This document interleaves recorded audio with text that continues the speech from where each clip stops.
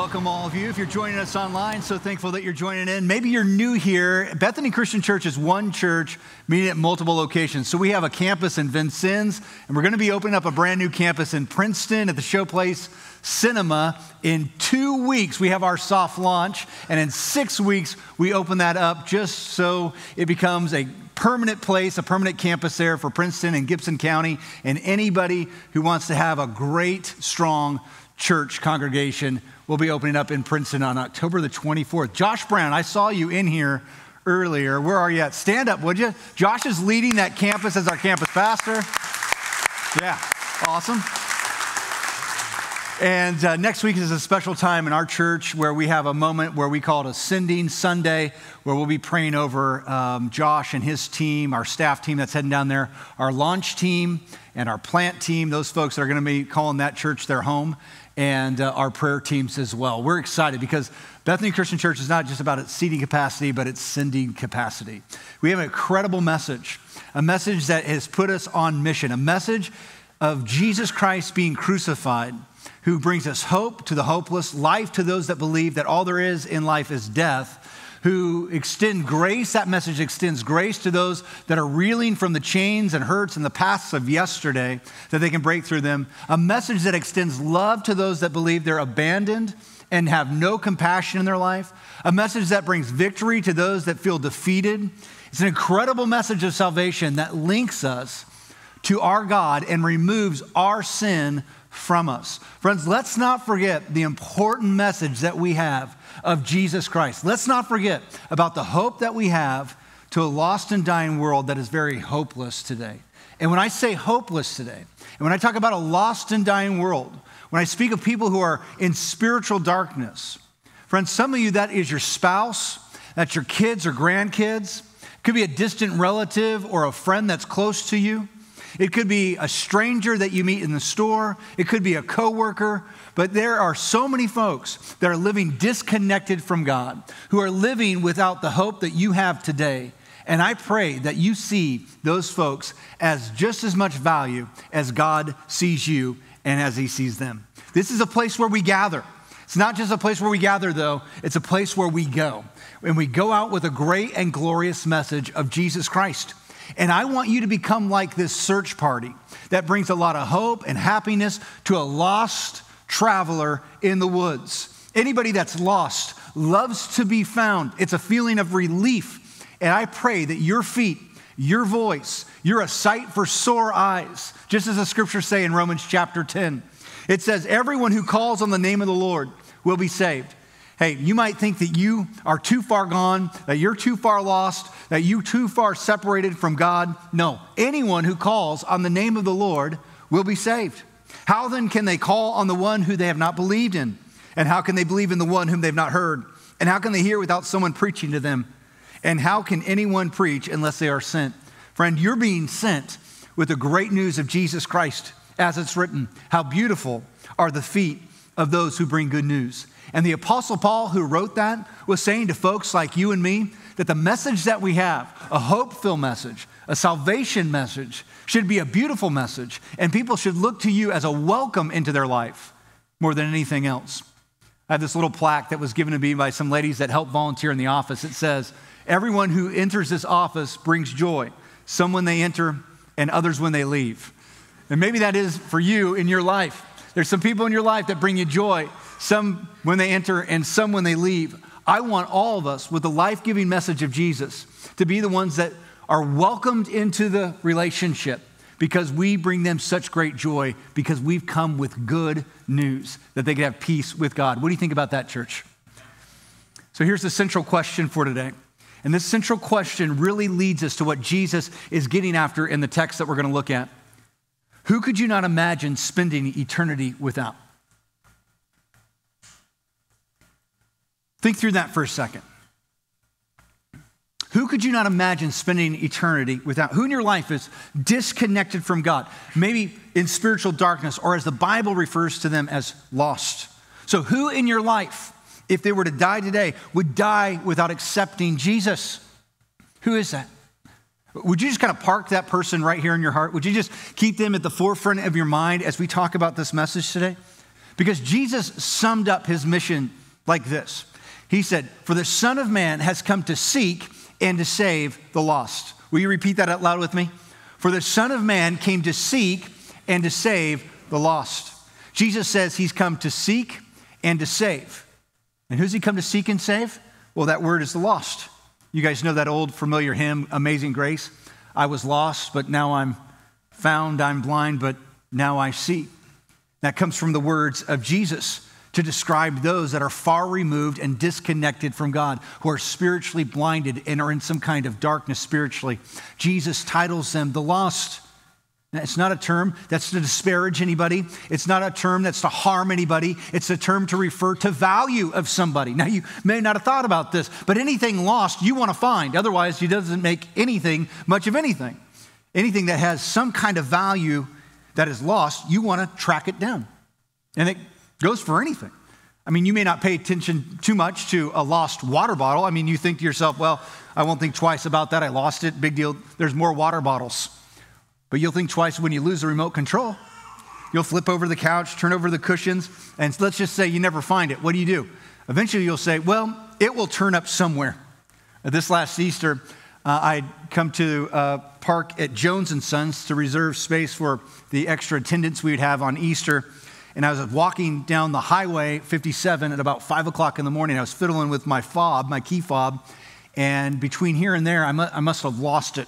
Because after services, I couldn't get back in my car. Finally got a ride back to uh, eat some Easter dinner. But right afterwards, I had a full search party. My, my family, my kids, I got them out on the highway in the ditches. And I said, We're going to find my key fob today. Now, we never, we never found it. And so Monday, I went out, and looked again. And the whole week, I looked for that dumb key fob. And I never found the key fob to my, to my car.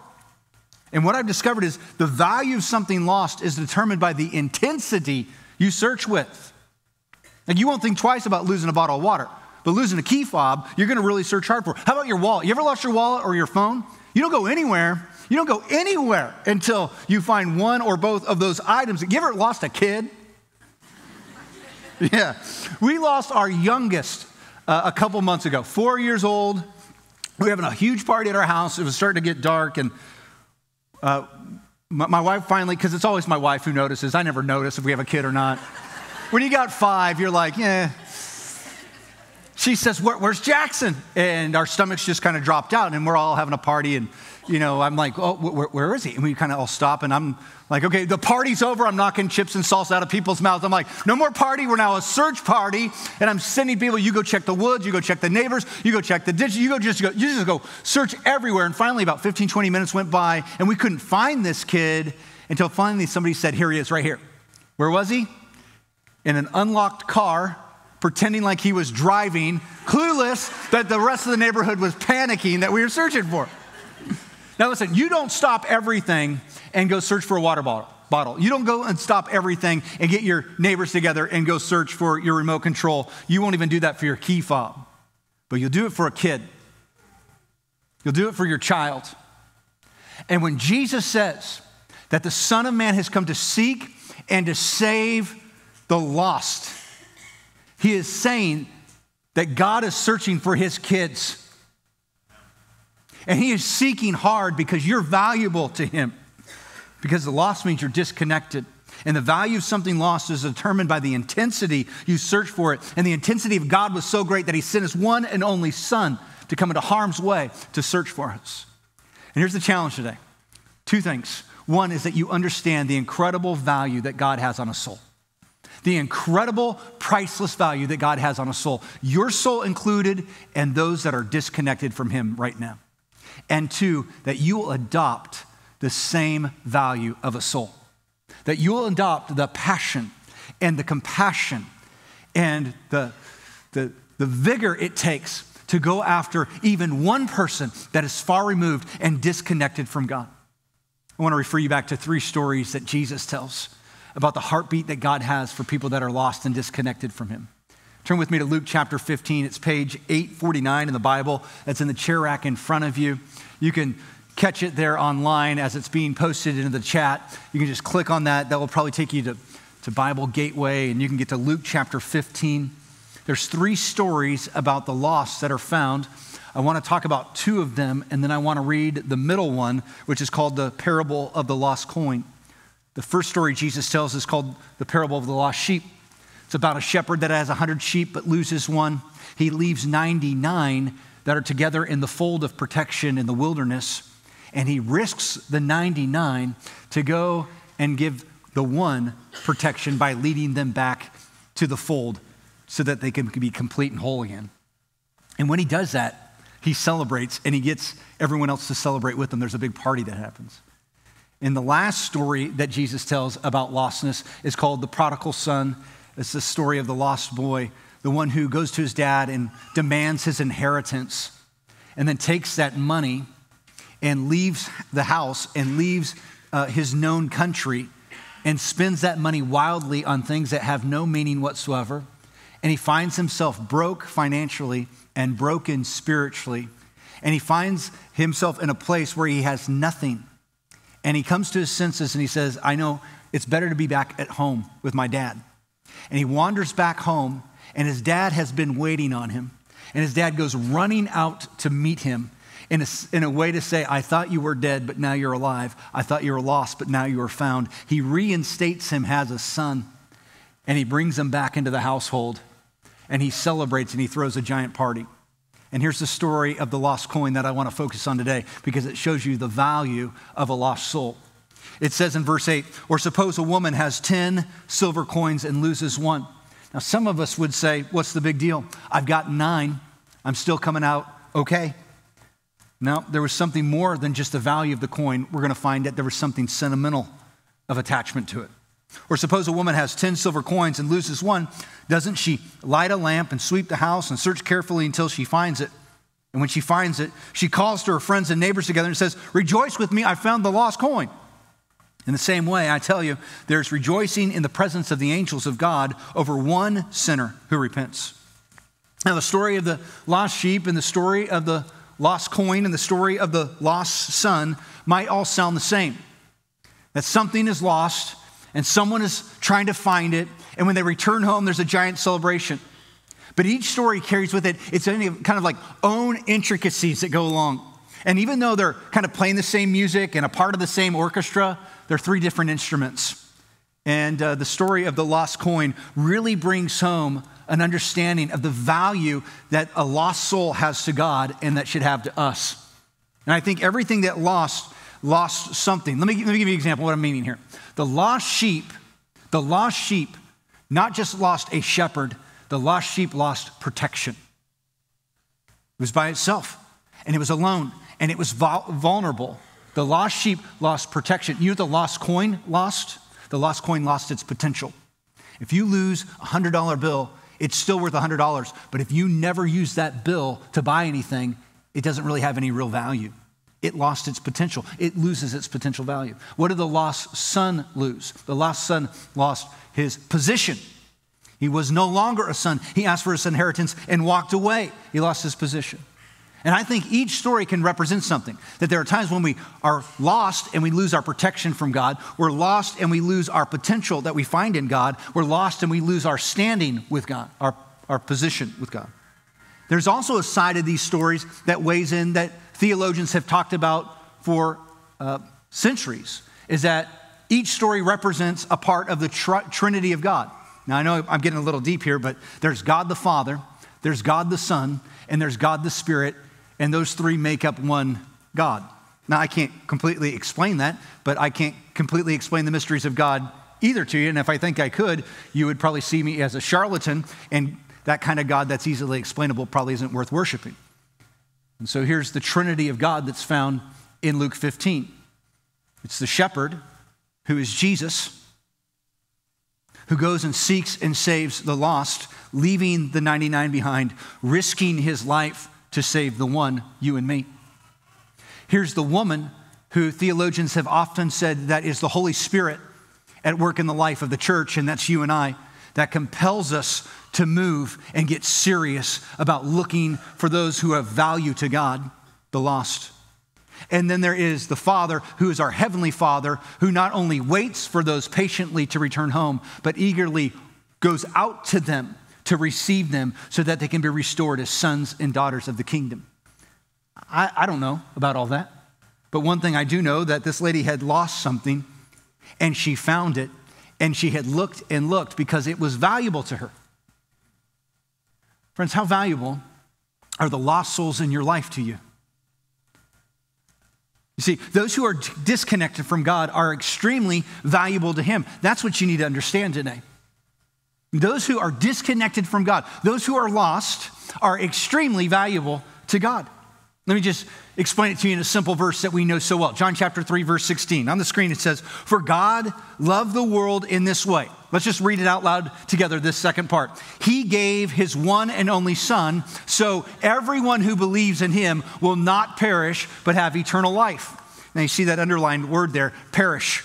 Sometimes it's translated lost, sometimes it's translated lose, sometimes it's translated perish, but it all comes from the same Greek word, which is apollumi. And apollumi is really the word destroy. That he has come so that anyone who believes in Jesus will not be destroyed, but have eternal life. It's actually a title that, that is given to Satan in the book of Revelation, apollumi a title for Satan. He is the destroyer that wants to come to steal, kill, and destroy. Apollumi. And really, that title is appended there in Revelation to say, be aware that just as Christ Jesus is seeking you out to save you, Satan is seeking out to destroy you. Let me just give you three ways Satan tries to destroy those who are lost. Three ways that the Bible tells us that Satan tries to destroy and blind us so that we will not uh, find God. One, uh, the lost are disconnected from God.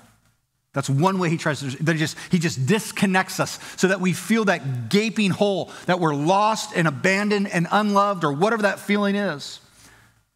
2 Peter chapter 3 verse 9 kind of gives us a glimpse though into the passion of our God who seeks and saves people. It says, The Lord isn't slow in keeping his promises, as some people think he is. In fact, actually, God is patient. God is patient. You ever thought about that? That God's patient with you right now, and God's patient with the one that is lost right now.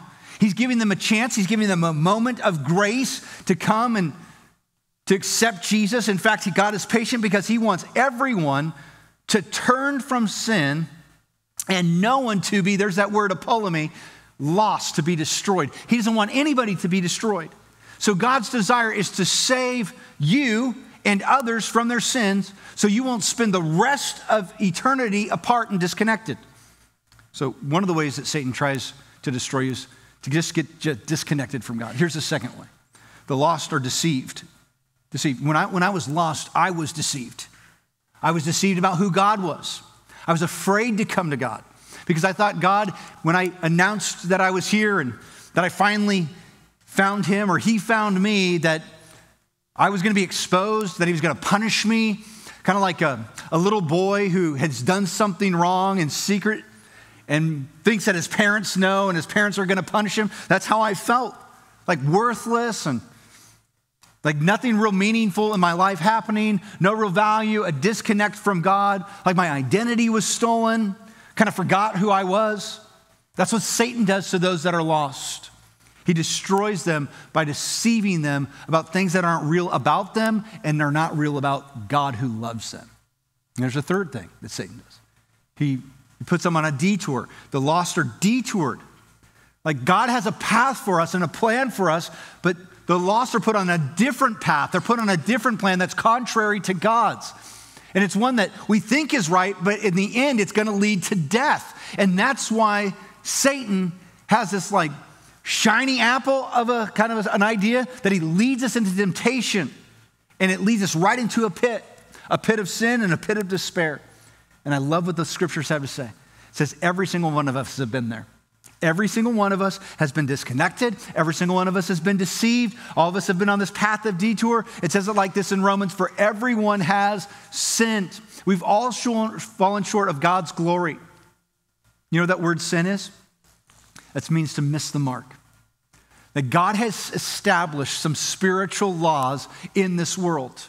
Just like there's laws of science, God has established spiritual laws. And you're saying, well, what are those laws? Do you know all the laws written in the United States uh, law books? No, you probably don't. Have you broken many of them? Probably have. You just weren't aware of it. God says, listen, it doesn't matter if you've done it out of ignorance or if you've done it on purpose. If you break a spiritual law, you have to pay the fine. You know what the fine is for breaking a spiritual law? The, the fine is death. And you can pay it or you can accept God's pardon, Jesus Christ. Now, now the choice is yours. Uh, Jesus Christ has made himself known. The pardon is free. It's just about accepting the pardon. But there are so many that say, I refuse the pardon. I would prefer to pay. And God says, well, then if you prefer to pay, you got to go to a place called hell. Uh, some of you call that City Hall. God calls it hell. And friends, just so you're aware, hell isn't a place that God sends people whom he is mad at. It's a place where you go to pay for your sins because you have decided that you'd pay for them rather than accept the pardon. And here's the catch 22 about paying for your own sins rather than receiving the pardon of Jesus Christ it's a forever payment, it's, it's consistent and eternal disconnect from God. And friends, God has all this enormous compassion for you. He has enormous compassion for those that are lost because He doesn't want that disconnect to be eternal from Him. And that's why He sent Jesus on this rescue mission to seek and to save those who are lost. And friends, it cost Jesus everything He had, including His very life. And so let me state it to you like this those who are lost are worth the cost. That's what God told us. Isn't that what Jesus tells us? That those who are lost are worth this cost. What are they cost? What, what's, what is the soul, the lost one, worth to you? Because to God, there, there couldn't be a price tag on it. It was more than just monetary value, it was sentimental. These are my kids. You ever lost a kid? Jesus says, Yeah. God says, Yes. And I sent my very son as a payment to search for them. You know, when the woman, woman searched the house and lost her coin, it was more than just like a, a monetary thing that she was searching after.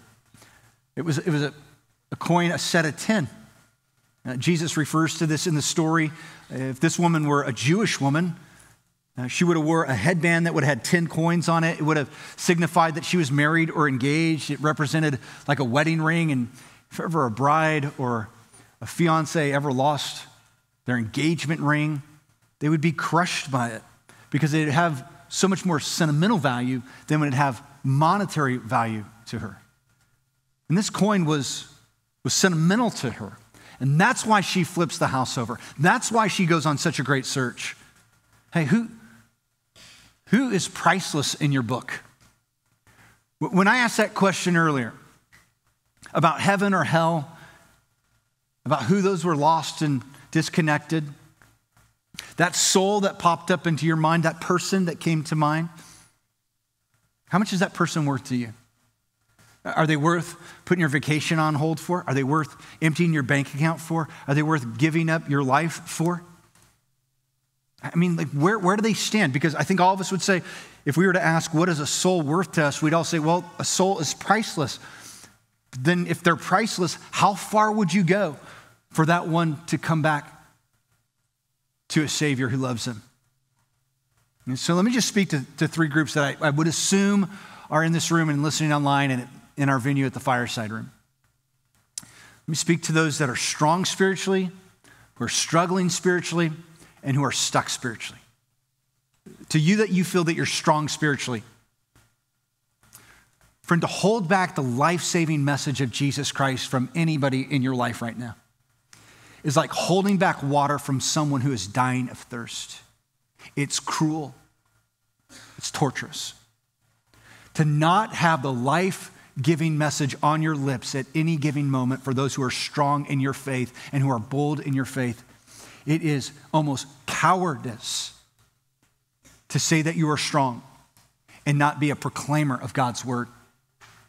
To those that are struggling right now, the world would say to you, if you're struggling spiritually, to focus on yourself, to work on yourself, to get healthy.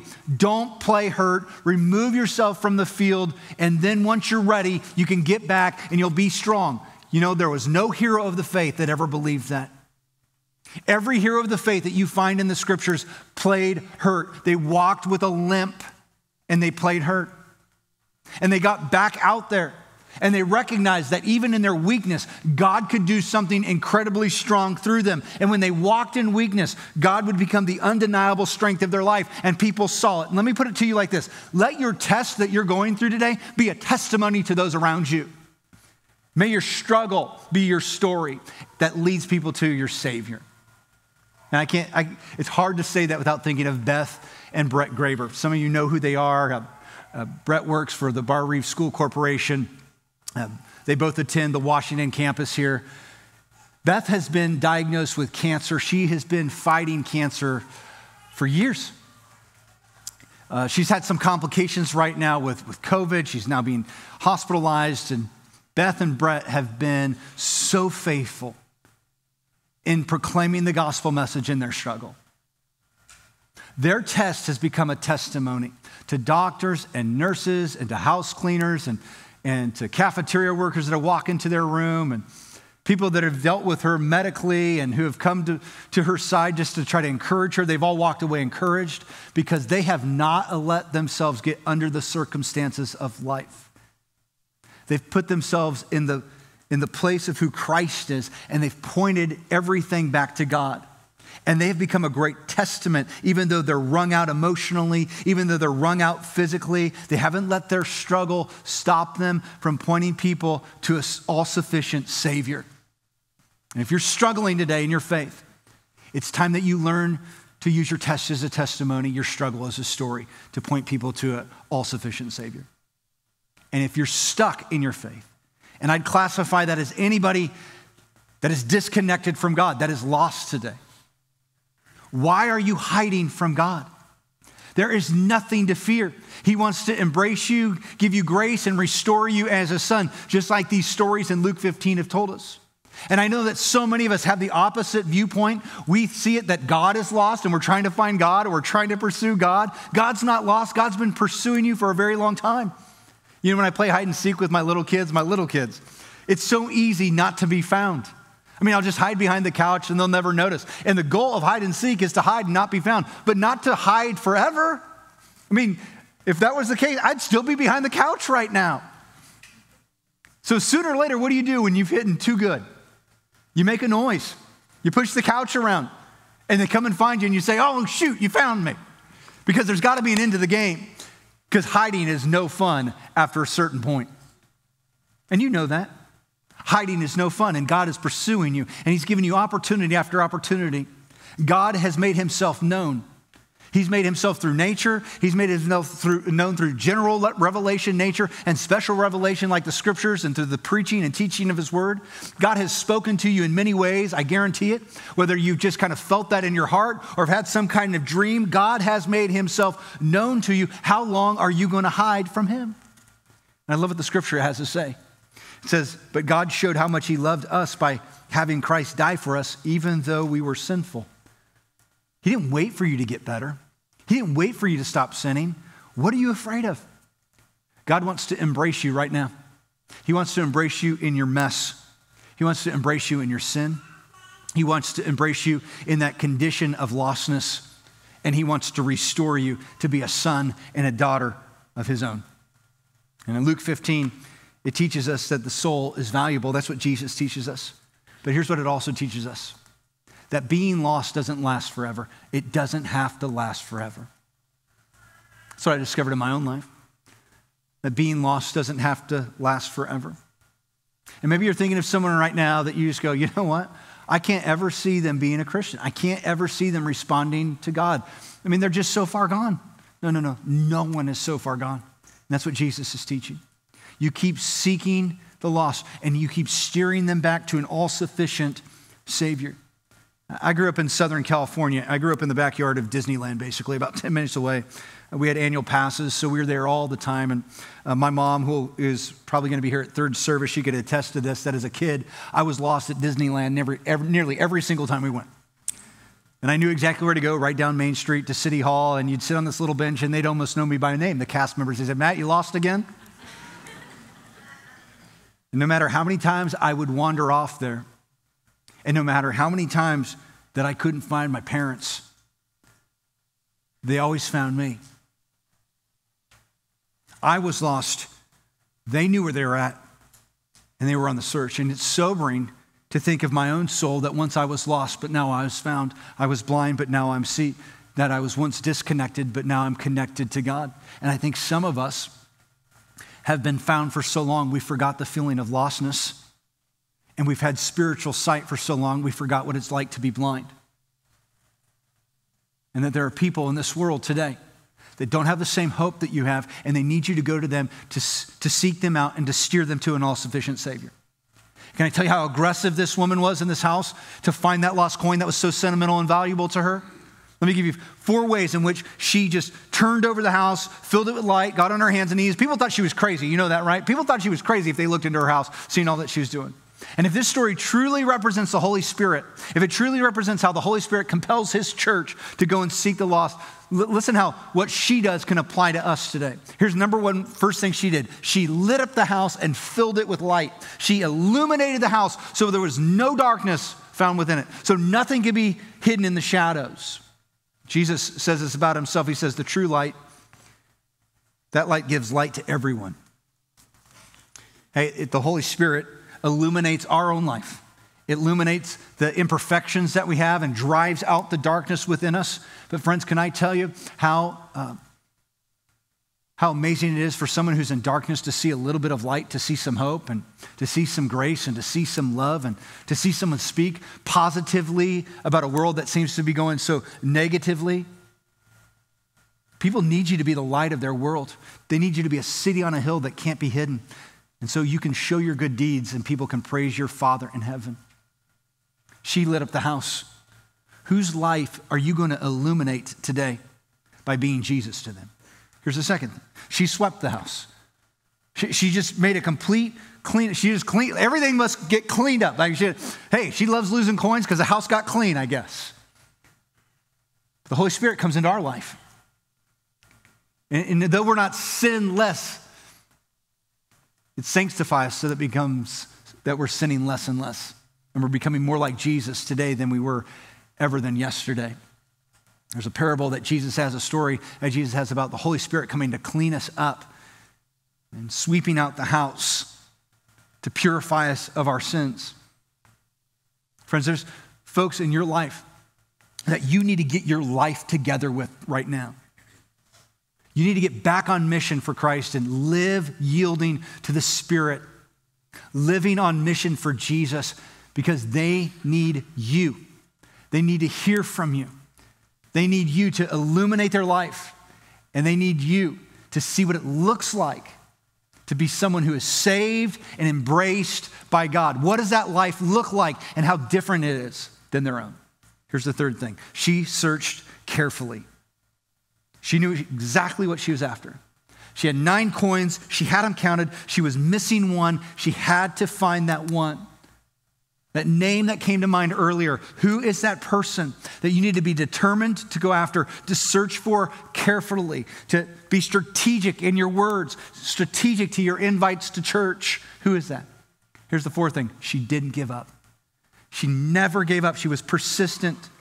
She probably had a thousand things to do that day, but every single one of them got pushed down the list because the most important thing to do was to find the thing that was sentimental to her that was lost. How important is this soul that is lost in your life to you? You know, I love how these parables end.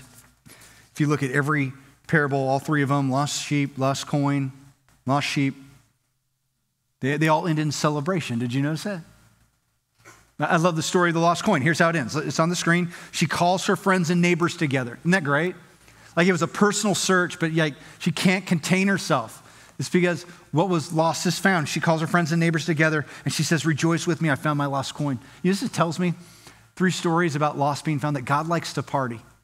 You probably don't picture God that way, but He loves to celebrate, He loves to party. He goes on to say in verse 10 in the same way. I'll tell you that there's rejoicing in the presence of angels of God over one sinner who repents. Like that party that you see from the shepherd and from the woman who lost the coin to that father who thought he lost his son but regained him back. That same celebration, in a sense, is happening in heaven when one lost soul comes back. and gets their position restored as a son or daughter in, in God. Uh, guys, I know what we're talking about today has like enormous challenges. It's gonna, it's gonna ask you to be bold in your faith. It's gonna ask you to just speak the words of God to somebody. It's gonna make you nervous. You're gonna be embarrassed at times. You're not know, gonna know exactly what to say. There's so many challenges, but friend, let, let, let the celebration override the challenges. What I'm saying is, there's risk, but the, but the reward is greater than the risk. And, and I'm praying for you this week that as you go and you start to seek and to steer that, that one to an all sufficient Savior, that they have a softened heart and that you have a, that you, that you have a bold life. Now, let me just say for anybody that's disconnected here, disconnected from God and are lost. Like the lost sheep, I, I think you can naturally wander off. Like the lost coin, I think that you can just get lost by circumstances. Like the lost son, I think you can get lost by your own rebellious heart. Which lost are you? Because a Savior stands and waits for you and runs and pursues you. And some are running from God today, and God is pursuing you, and He's chasing after you. How long are you going to stay hidden? I love what God has to say to the prophet Ezekiel. He says, I will search for my lost ones who strayed away, and I will bring them safely home again. I will bandage the injured and strengthen the weak. He doesn't want to just, just doesn't want to just find you. He wants to restore you and strengthen you. Friends, it amazes me that the God who created everything and absolutely needs nothing considers you valuable. And don't let anyone ever tell you that you have no value to God. You're so valuable that he risks his own son's life. You're so valuable that God sent his one and only son, that whoever believes in Jesus will no longer be lost, will no longer be destroyed, but have eternal life with God. Do you believe that, church? Amen. Let's pray. God, today we come to you. Would you give us a renewed heart for those that are lost? A renewed heart like your son shows us that the shepherd had and this woman had and the father has for the things that were lost in their life. May we have a new heartbeat and a new passion for those in our family and those in our friend circles and in those with whom we work who are disconnected from you. May they burden our life. And may we speak up and be bold about the hope that we have. And we pray for those that we're thinking of now that are lost, that you soften their heart. That as we extend an invite or as we speak spiritual truths into their life filled with grace, that they'll be responding to those and they'll recognize the love that we have for them, but more importantly, the love that you have for them. And may they, may they not stay hidden any longer, but they come to embrace and accept your son, Jesus, the Savior of our soul. And we pray these things in his powerful name, and the church says in one voice, Amen.